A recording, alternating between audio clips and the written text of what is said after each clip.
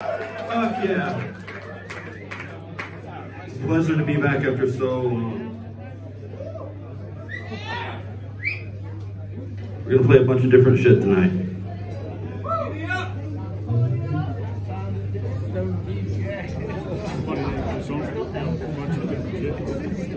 Yeah.